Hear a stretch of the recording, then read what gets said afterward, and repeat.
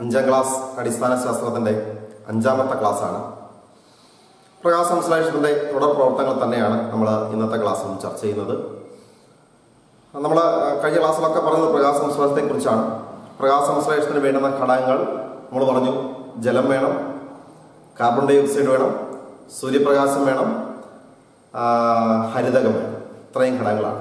നമ്മൾ പറഞ്ഞു സൂര്യപ്രകാശം ഇലകളിലേക്ക് നേരിട്ടടിക്കും. മണ്ണുള്ള വെള്ളം നേരെ സസ്യങ്ങൾ ആകിരണം ചെയ്യും. വെയിലൂടെ ആഗിരണം ചെയ്യും. പിന്നെ കാർബൺ ഡൈ ഓക്സൈഡാണ് ഈ കാർബൺ ഡൈ ഓക്സൈഡ് ഇലകളിലുള്ള സൂക്ഷ്മ സൂക്ഷ്മങ്ങളിലൂടെ ചെയ്യും. ഇതാണ്. അപ്പോൾ ഇനിയുള്ള ഒരു ഘടകം എന്ന് പറയപ്പെടുന്നത് ഹരിതകമാണ്. എന്താണ് ഹരിതകം? ഹരിതകം എന്ന് പറഞ്ഞു കഴിഞ്ഞാൽ പ്രകാശ സംശ്ലേഷത്തിന് ആവശ്യമായിട്ടുള്ള ഊർജം സൂര്യനിൽ നിന്ന് ആഗിരണം ചെയ്യാൻ ആവശ്യമായിട്ടുള്ള ഘടകമാണ് ഹരിതകം. ഹരിതകമുണ്ടോ ഇല്ലയോ നമുക്ക് എങ്ങനെ അറിയാം? ഇലകൾക്ക് പച്ച നിറമുണ്ടെങ്കിൽ ഹരിതകത്തിന്റെ നിറം എന്ന് പറയപ്പെടുന്ന പച്ചയാണ്. പച്ച നിറം നൽകുന്ന ഒരു വർണ വസ്തുവാണ് ഹരിതകം. അപ്പൊ ഈ ഹരിതകം ഉണ്ടെങ്കിൽ ഇലകൾക്ക് പച്ച നിറം നമുക്ക് കാണാൻ സാധിക്കും. അപ്പൊ ഞാൻ ഇവിടെ ഒരു ചെടിയെ പരിചയപ്പെടുത്തുന്നു. ഈ ചെടിയുടെ നിറം നമുക്ക് നോക്കിക്കഴിഞ്ഞാൽ പച്ച നിറമാണ് നമുക്ക് കാണാൻ സാധിക്കുക. അപ്പോൾ പച്ച നിറമുണ്ടെങ്കിൽ ഈ ചെടിയിൽ എന്തുണ്ട്? ഹരിതകം ഉണ്ട് എന്ന് നമുക്ക് മനസ്സിലാക്കാൻ സാധിക്കും. ഞാൻ മറ്റൊരു ചെടിയും കൂടി പരിചയപ്പെടുത്തുന്നു. അടുത്ത മറ്റൊരു ചെടി. ഈ ചെടിയുടെ നിറം നമുക്ക് നോക്കിയാൽ തന്നെ അറിയാം. പച്ചയല്ല ചുവപ്പ് നിറമാണ്. അപ്പോൾ ഈ ചെടിയിൽ ഹരിതകമുണ്ടോ? ഇതിന്റെ ഇല ഞാനെടുത്ത് കാണിക്കുന്നു. ഇതിന്റെ രണ്ട് സൈഡ് നോക്കിക്കഴിഞ്ഞാലും നിറം ചുവപ്പാണ് അപ്പോൾ ഈ ചെടി ഹരിതകമുണ്ടോ? ഇതേപോലുള്ള മറ്റൊരു ചെടി നമുക്കറിയാം. നമ്മുടെ ചീരയില ചുവന്ന ചീരയില. ചുവന്ന ചീരയുണ്ട് പച്ച ചീരയുണ്ട്. അപ്പം ഈ ചുവന്ന ചീരയിൽ ഹരിതകമുണ്ടോ? നമ്മൾ പച്ച നിറമല്ല കാണുക ചുവപ്പ് നിറമാണ്. അപ്പം ഈ ചുവപ്പ് നിറമുള്ള ഈ ചെടികളിൽ ഹരിതകമുണ്ടോ? അപ്പം ഹരിതകമുണ്ടെങ്കിൽ മാത്രമേ പ്രകാശ സംശ്ലേഷണം നടത്താൻ പറ്റത്തുള്ളൂ. കാരണം പ്രകാശ സംശ്ലേഷണം നടത്തണമെങ്കിൽ സൂര്യന്റെ ഊർജത്തെ സസ്യങ്ങൾ എടുക്കണം. ഈ ഊർജം പിടിച്ചെടുക്കുന്ന ആളെന്ന് പറയപ്പെടുന്ന ഹരിതകമാണ് അപ്പോ നമ്മുടെ ചോദ്യം ചുവന്ന ചിരയിൽ ഹരിതകം ഉണ്ടോ ഇല്ലയോ? നമുക്കുണ്ടെന്നും പറയാം ഇല്ലെന്നും പറയാം. നിങ്ങളുടെ എന്താണ് ഊഹം? നിങ്ങളുടെ ഊഹം പറയാൻ പറഞ്ഞു കഴിഞ്ഞാൽ നിങ്ങൾ പറയുന്ന ഒന്നുകിൽ ഉണ്ടെന്ന് പറയാം അല്ലെങ്കിൽ ഇല്ലെന്ന് പറയാം. അപ്പൊ നമ്മുടെ ശാസ്ത്ര ക്ലാസ്സിനെ സംബന്ധിച്ച് ഒരു ചോദ്യം ചോദിച്ചു കഴിഞ്ഞാൽ അത് നമുക്ക് ഊഹം പറയാൻ സാധിക്കാം. പക്ഷേ ആ ഊഹം തെറ്റാണോ ശരിയാണോ എന്ന് നമുക്ക് തിരിച്ചറിയണം എന്നുണ്ടെങ്കിൽ നമ്മളത് പരീക്ഷണത്തിലൂടെ നിരീക്ഷണത്തിലൂടെ നിഗമനത്തിലൂടെ നമ്മൾ എത്തിച്ചേരുക തന്നെ വേണം. അതാണ് ശാസ്ത്രം എന്നതിന്റെ പ്രത്യേകത. നമുക്ക് എന്തും പറയാം പക്ഷേ ആ പറയുന്ന കാര്യങ്ങൾ നമുക്ക് തെളിവുണ്ടാവണമെങ്കിൽ പരീക്ഷണത്തിലൂടെയും മറ്റു മാർഗങ്ങളിലൂടെയും നമ്മളത് പ്രൂവ് ചെയ്ത് കാണിക്കണം. അപ്പൊ അങ്ങനെ ഈ ചെടിയിൽ ഹരിതകമുണ്ടോ ഇല്ലയോ എന്നുള്ളത് നമുക്ക് തെളിയിക്കണം. അപ്പൊ നമ്മളൊരു പരീക്ഷണത്തിലേക്ക് പോവുകയാണ് അപ്പം എങ്ങനെയാണ് ചെയ്യുക? ചെയ്യുക സിമ്പിളാണ് അപ്പൊ നിങ്ങൾ ഈ പരീക്ഷണം വീട്ടിൽ ചെയ്തു നോക്കണം. ക്ലാസ് കാണുന്നതിന് മുമ്പേ ക്ലാസ് അവസാനിക്കുന്നതിന് മുമ്പ് തന്നെ പരീക്ഷണം വീട്ടിൽ ചെയ്തു നോക്കിയിട്ട് വേണം ഇതിന്റെ ബാക്കി ക്ലാസ് കാണാൻ. അപ്പൊ എങ്ങനെയാണ് ചുവന്ന ചീരയിൽ ഹരിതകമുണ്ടോ ഇല്ലയോ നമുക്ക് ചെയ്തു നോക്കാൻ പറ്റുക. നമുക്ക് ചീരച്ചെടി തന്നെ ഉദാഹരണമായിട്ട് എടുക്കാം. അപ്പം സിമ്പിളാണ് നമ്മുടെ വീട്ടിൽ നിന്ന് നമ്മുടെ വീട്ടിലോ തൊട്ടപ്പുറത്തോ ഇവിടുന്നെങ്കിലും ഒരു ചീരച്ചെടി എടുക്കുക. അതിന്റെ കുറേ ഇലകൾ എടുക്കുക. കുറേ ഇലകൾ എടുത്തതിന് ശേഷം നമ്മുടെ ഒരു ചെറിയ സ്റ്റീൽ പാത്രത്തിൽ കുറച്ച് വെള്ളം എടുക്കുക.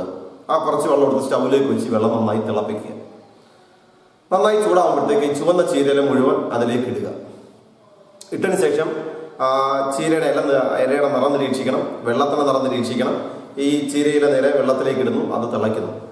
ആ ഉണ്ടാകുന്ന മാറ്റങ്ങൾ രക്ഷിതാവിന്റെ സഹായത്തോടെ നിങ്ങൾ ആ പാത്രത്തിലേക്ക് നോക്കിക്കൊണ്ടേയിരിക്കുക. അത്യാവശ്യം പ്രകാശം ഉപയോഗിച്ച് നല്ല ലൈറ്റൊക്കെ ഇട്ട് ഈ പരീക്ഷണം ചെയ്ത് നോക്കുക. കുറെ നേരം കഴിയുമ്പോൾ നമുക്ക് എന്ത് മാറ്റം നിരീക്ഷിക്കാൻ കഴിയും എന്ന് നമ്മൾ നോക്കണം. അപ്പോൾ ഈ പരീക്ഷണം നിങ്ങൾ ചെയ്ത് നോക്കണം. ചെയ്തു നോക്കി നിങ്ങൾ ആ റിസൾട്ട് നമുക്ക് അയച്ചു തരികയും വേണം. അപ്പോൾ പരീക്ഷണം എല്ലാവരും ചെയ്ത് കാണും. പരീക്ഷണ റിസൾട്ടിലേക്ക് നമുക്ക് നോക്കാം. നമ്മൾ ചീരയില ചീരയുടെ നിറം ചുവപ്പാണ് വെള്ളത്തിന് നിറമില്ല.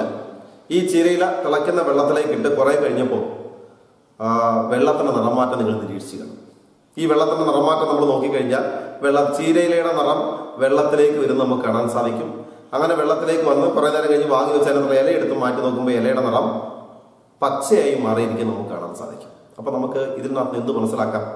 ചുവന്ന ചീരയിൽ ഹരിതകമുണ്ട്.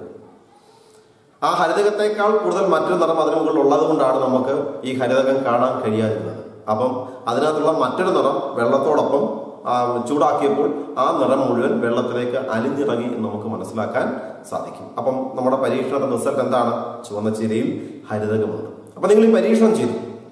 ചെയ്ത പരീക്ഷണം നമുക്ക് രേഖപ്പെടുത്തി വെക്കണം. രേഖപ്പെടുത്തലാണ് ശാസ്ത്ര ക്ലാസ്സിന്റെ മറ്റൊരു പ്രത്യേകത. അപ്പൊ ഈ പരീക്ഷണം നമുക്ക് എങ്ങനെ രേഖപ്പെടുത്താം? ചുമ്മാതെ പരീക്ഷണം എഴുതി വെച്ചാൽ പോരാ. പരീക്ഷണം രേഖപ്പെടുത്തുമ്പോൾ പരീക്ഷണം രേഖപ്പെടുത്താൻ നമ്മൾ വിളിക്കുന്ന പേരാണ് പരീക്ഷണ കുറിപ്പ് അഥവാ എക്സ്പെരിമെന്റൽ റിപ്പോർട്ട് അപ്പൊ ഈ പരീക്ഷണ കുറിപ്പ് നമുക്ക് എങ്ങനെ തയ്യാറാക്കാം എന്നുള്ളതാണ് നമ്മൾ പറയാൻ പോകുന്ന മറ്റു ചില അപ്പോൾ അപ്പൊ ഒരു പരീക്ഷണ കുറിപ്പ് എഴുതുമ്പോൾ എന്തെല്ലാം കാര്യങ്ങളാണ് ശ്രദ്ധിക്കേണ്ടത്?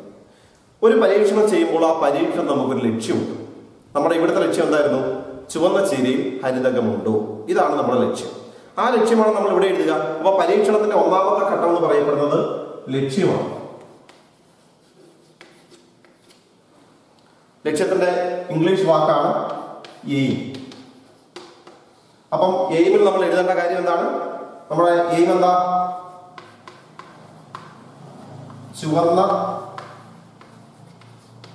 ചീരയിൽ ഹരിതകം ഉണ്ടോ? ഇംഗ്ലീഷിലാണെങ്കിൽ is chlorophyll present in red amaranthus is chlorophyll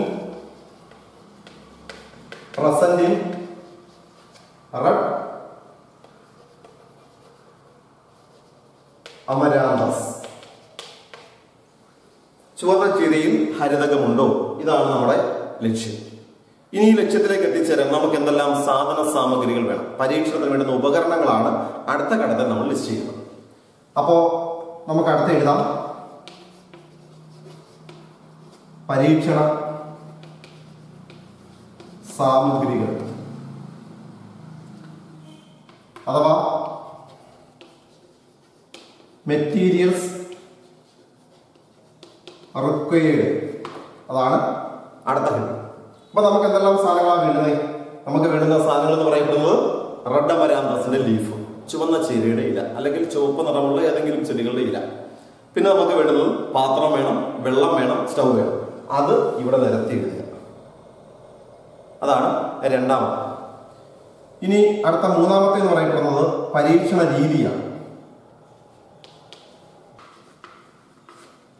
അഥവാ പ്രൊസീജിയർ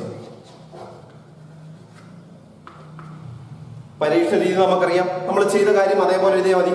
എന്താണ് ചെയ്യുക? ഒരു പാത്രം എടുക്കുക അതിലേക്ക് കുറച്ച് വെള്ളം എടുക്കുക. ആ വെള്ളം ചൂടാക്കുക. ചൂടാകുന്ന വെള്ളത്തിലേക്ക് കുറച്ച് ചേരയിലെടുത്ത് അതിനകത്തേക്ക് ഇടുക. ഇതാണ് പരീക്ഷണ രീതി. ഇനി അതിനുശേഷം ഈ പരീക്ഷ രീതിക്ക് ശേഷം ഇനി അടുത്ത ഘട്ടം. അടുത്ത സ്റ്റെപ്പ് എന്ന് പറയപ്പെടുന്നത് നമ്മുടെ നിരീക്ഷണമാണ് ഒബ്സർവേഷൻ